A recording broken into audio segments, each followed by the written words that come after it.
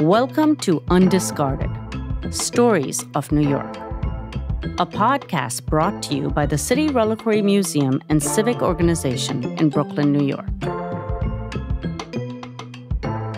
Today I'm sitting with Dave Herman, the founder of the Reliquary, in their permanent collection room just behind the front lobby. It's not such a large space compared to other museums, but there isn't an inch of it that isn't being used. There are vitrines stuffed with items, artifacts hung on the walls, sculptures in the corner, baseball cards stuck in the small empty spaces left over. The small wobbly table we share is made even more precarious with our audio equipment. And I hope it doesn't topple over into the open display case next to us, which takes up the entire height of one wall. This case contains the reliquary's most famous and largest collection dozens of different small scale models of the Statue of Liberty. There are Lady Liberties made of metal, wood, glass, ceramic, and plastic, some only inches tall and some way bigger, some painted in gaudy colors, and some gray and serious. Some of these were made and sold by the thousands as tourist souvenirs, and some are homemade and completely unique. There's even a Hawaiian Lady Liberty wearing a grass hula skirt. Interspersed amongst them are all sorts of Statue of Liberty collectibles from around the world postcards, shot glasses, souvenir coins, commemorative plates, and any number of other tributes to the new Colossus from the 13 decades since she was erected. And today we're here to discuss what is perhaps the crown jewel in this collection which was acquired by the reliquary from the personal belongings of someone who knew the Statue of Liberty perhaps better than anyone ever has. We were very lucky to have an opportunity to meet with Charlie DeLeo, who is known as the Keeper of the Flame. For more than three decades, he was the caretaker of the Statue of Liberty, working for the National Park Service. I think anybody who knows the backstory of the Statue of Liberty and sort of the types of people that go into keeping her the shining icon that she is knows something about Charlie DeLeo. So he's definitely a bit of a legend in himself. And it was kind of a, a moment for me to get to meet one of my heroes. Yeah, so tell me a little bit about Charlie. And from what I know a little bit about what I read about him, he apparently, you know, he was a war veteran mm-hmm. and he felt he was spared. So when he visited the Statue of Liberty, he just had this immense feeling of gratitude that he was there for that reason. Yeah, yeah. Well, I mean, I wish I could say I knew him even better, but from the few moments that I've had to spend time with him, I could say that he's definitely a very humble and sincere person who followed his heart. I think as someone who was inspired by the Statue of Liberty, he decided that was his life's goal was to help stay in tune with the thing that led him and inspired him I mean, this is someone who clearly, although he was being paid and had a career with the National Park Service, after that came to a logical ending. He continued to volunteer there and, you know, cared for her the way he would care for a mother, I think. And I, of course, she is also known as the mother of exiles. And so it made perfect sense. He also showed me some poems that he would write for the statue. So, in the tradition of Emma Lazarus, who wrote the famous poem, give me your tired, your poor, your huddled masses, and so on. That's actually on a plaque on the pedestal itself. He had his own versions of those. Did Charlie ever talk to you about what his day was like? Or what was some of the stuff that he actually did in his day to day in yeah. caring for the Statue of Liberty. Yeah, a little bit, and it, and to most people it might seem mundane, but I think he had a way of taking mundane tasks like polishing windows or sweeping staircases and making them part of his daily rituals. In the same way, like a Buddhist monk, you might think of sweeping around. That's what I thought temple. of. I thought of like mindfulness. People yes. say, you know, to be present in your tasks. Absolutely, you know. this is the ultimate. Like he was the monk of the Statue of Liberty.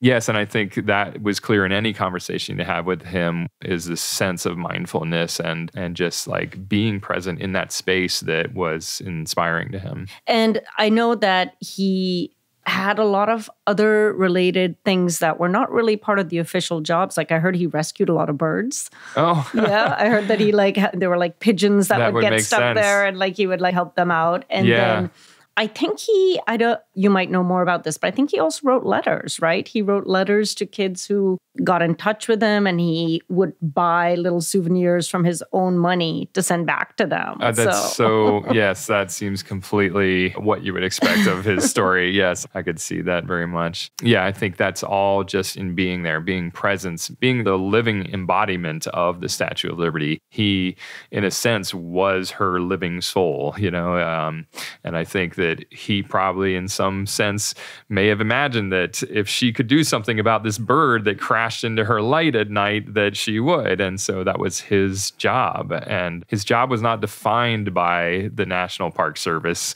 it was just sort of appreciated by them. I think it was defined by him. He didn't really, he wasn't somebody who needed to be told clearly, like, this is what we expect of you. He expected so much of himself because of the way he appreciated that role. And today's artifact, which occupies a place of honor in its own plexiglass cube, is like Charlie's daily work in caring for the statue, because it's both mundane and extraordinary. It's a light bulb, a large incandescent light bulb, of a kind you might find in any outdoor lighting in the 1990s. But this particular bulb was one that was used to illuminate Lady Liberty's torch. The Statue of Liberty was originally titled Liberty Enlightening the World, and that enlightenment was meant both poetically and literally, as she was intended to be a lighthouse guiding ships into New York Harbor. This never really worked though. Her torch just wasn't big enough to be useful for navigation. And all through her history, engineers have revamped the torch to try and make it brighter at the beginning, the light actually came from within the flame itself. So the flame was constructed almost like a stained glass window might be, with lots of little panels in a three dimensional shape of this flame. And the light inside would shine through those panels. So if you look back in some of the old photos of Charlie DeLeo, you can see him actually in the earlier version um, when he was there in the 70s. He had the job of actually replacing the interior bulbs as well. Legend has it that in 1972, Charlie DeLeo's boss found out that he was sneaking up into the torch where he wasn't allowed. Instead of giving him the axe, his boss gave him the important task of caring for the torch. And from then on, DeLeo became the keeper of the flame, climbing a narrow 40 foot ladder to change the light bulbs inside. Through the years, the mechanism of the torch changed up to the current incarnation of a sculpted flame made out of copper covered in 24 karat gold, which is illuminated by bulbs pointed at it from the outside. Throughout these changes and up to his retirement, Charlie was in charge of maintaining these lights. There are lots of pictures of him perched high above in the torch performing his duties. And of course, discarding burnt out bulbs was also part of his job. And that's where the reliquary's bulb came from. It was from one of the floodlights used in this external system in around 1994. On one hand, it's a piece of trash, something that's outlived its usefulness and been replaced. But on the other hand, it's a vital, tangible piece of the magic of the statue, an actual source of the enlightenment she was built to spread to the world. So, what did he think of your collection? well, I, from what I could tell, he was impressed. I think Charlie was could see a kinship in our desire to positively show the impact of the Statue of Liberty, not just on individuals like us, but on many people from very diverse backgrounds. Tell me about your relationship to Lady Liberty, because I know that's sort of how the idea of the reliquary ended up coming about, right? There was a collection of Statue of Liberties outside of your yeah. apartment. yeah, yeah. That was one of the first displays that I built in the windows of the original City Reliquary display case, which was just a ground floor windows uh, at my then apartment. And uh, what kind of drove you to do that? Like, how come, you know? To me, some of these things seem obvious. I think when you when I walked into that first apartment and it was on the sidewalk level and there were windows with people walking by them, I thought, well, it seems like an obligation to put something in those. People would get curtains and be like, don't look in. yeah. Yeah the city reliquary in that situation became, for me, a bridge between not only myself and people walking by outside the windows, but the very diverse groups of people that were in the neighborhood that was constantly going through gentrification. So, in a sense, if the old timers from the neighborhood could walk by and see something that they felt familiar with, then a newcomer could come by and see something that sparked their attention. And now those two very separated communities had some connection, a link, which was these odd displays in a window. I think, in a sense, it was always my intent that, um, or at least hopeful goal, that people would be inspired to interact with it. And sure enough, those early windows windows because of the neighborhood. They had bars, iron bars in front of them for security. But what people started to do, thankfully, was use those iron bars to stuff little trinkets or mementos or things that they thought should belong in the windows. They just stick them behind the bars there. And those are some of my favorite objects um, where they're gifts of the city. And that's kind of what I always felt like this the city reliquary was intended to be a gift, but in a, with some expectation for reciprocity reciprocation. I always feel that it's our job to sort of go out into this city and find the things that inspire us. So, how did you settle on the Statue of Liberty?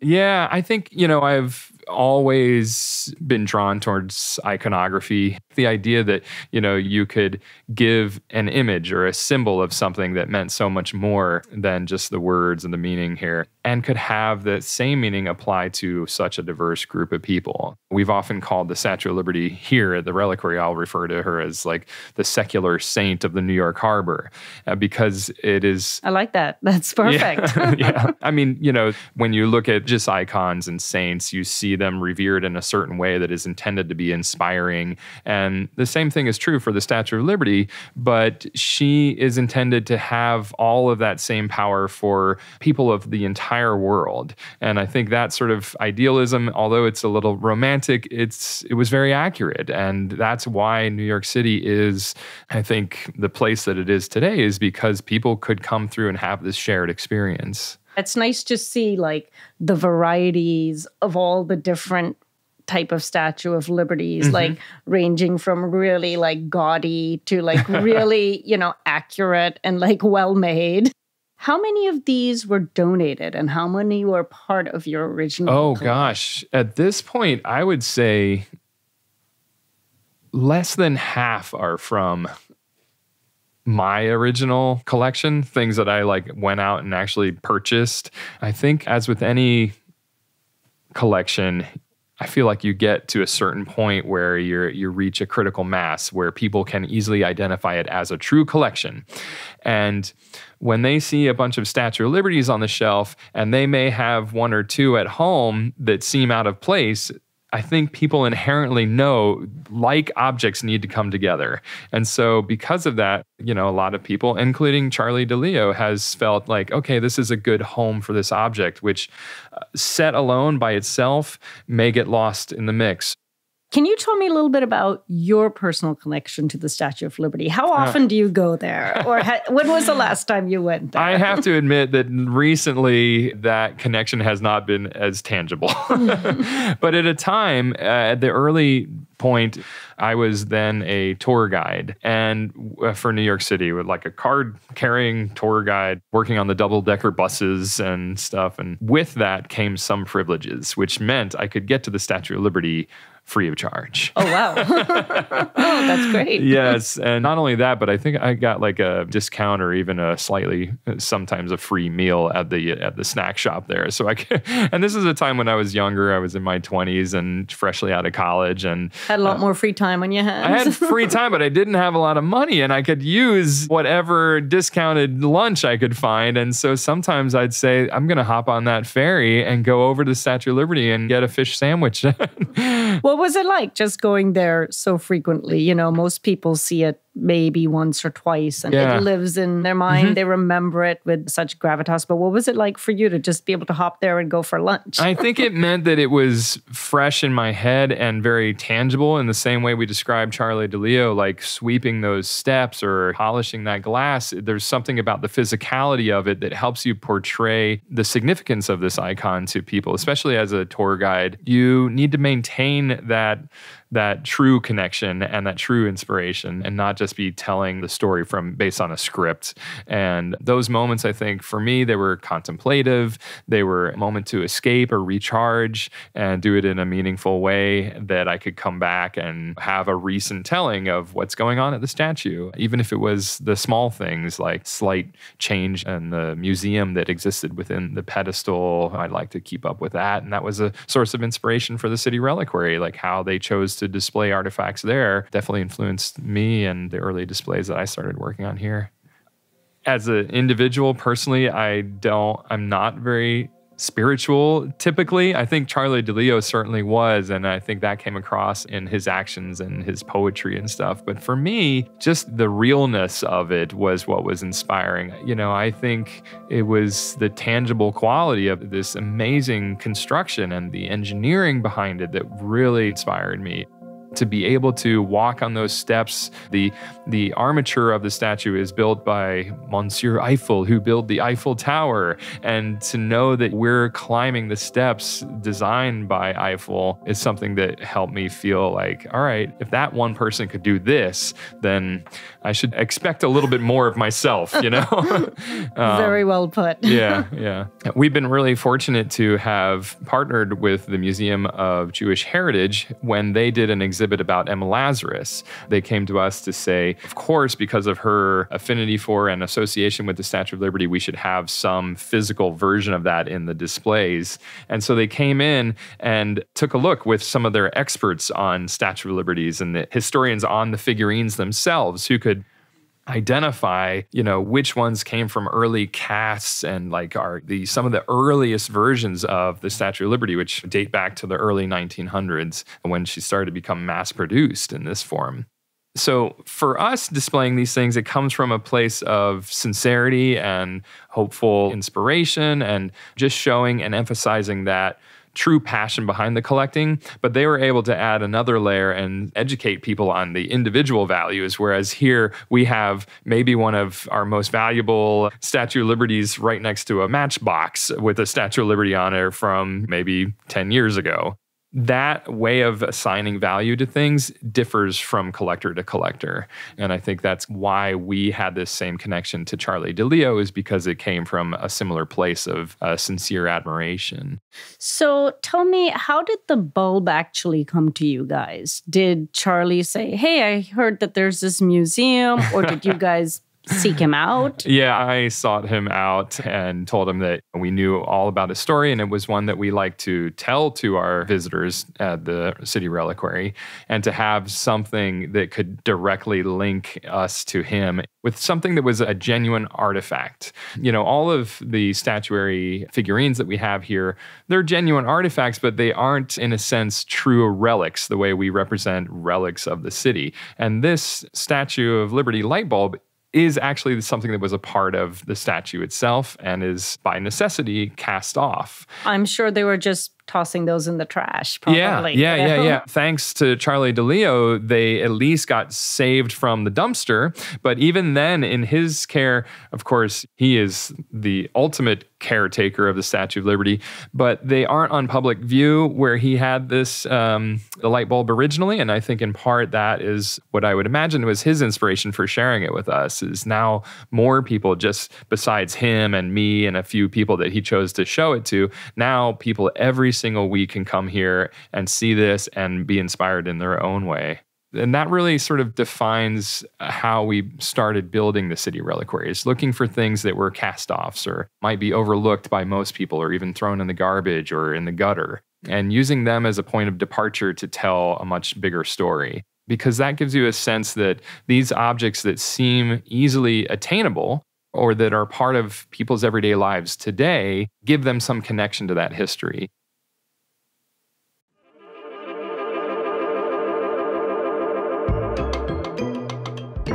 This has been Undiscarded Stories of New York, a podcast brought to you by the City Reliquary Museum and Civic Organization in Brooklyn, New York, in partnership with Citizen Racecar. My name is Tania Muhammad, and I produce this show in collaboration with David Hoffman, who edits the stories. Post production and original music by Jose Miguel Baez. Contributing producer Jacob Ford. Production manager Gabriela Montequin. Outreach manager Sarah Shalantano. And a special thanks to Dave Herman. To learn more about these artifacts, check out undiscarded.org and be sure to follow at City Reliquary on Instagram for facts and pictures. Head to cityreliquary.org to hear all about the museum's mission, exhibits, and events. If you enjoyed this episode of Undiscarded, please don't forget to subscribe wherever you get your podcasts, leave us a review, and help spread the word. There are so many more stories to tell.